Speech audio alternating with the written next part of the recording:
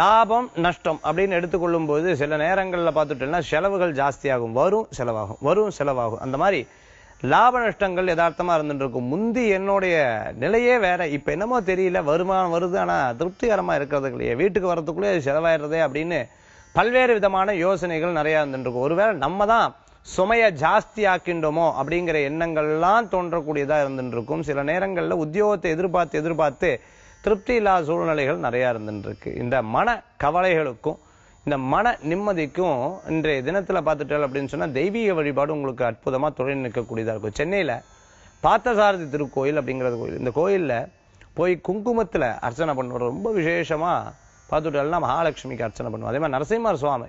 நரசிம்ம சுவாமி கை பார்த்துட்டோம்னா வாங்குற கூப்பிட்ற அளவுக்கு ரொம்ப அற்புதமாக இருந்துருக்கும் நரசிம்மரை போய் வழிபடுங்கோ.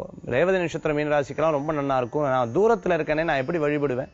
வீட்டு பக்கத்துல இருக்கக்கூடிய ஆலயங்கள்ல பெருமாள் ஆலயங்கள்ல போய் வழிபட்டதுனாலே இந்த தினத்துல பெரிய பெரிய சங்கடங்கள்லாம் நிவர்த்திய மன திருப்திகள் பெறக்கூடிய அற்புதமான தினமா இன்றைய தினம் உண்டு. இன்றைய தினத்துல அதிர்ஷ்டம் தரக்கூடிய எண் ஏழு நிறம் மஞ்சள் வழிபாட்டுக்குண்டான தெய்வம் ஸ்ரீரங்கநாதர் வழிபாடு. விசேஷ பலன்களை தரும் அற்புதமான வழிபாடு.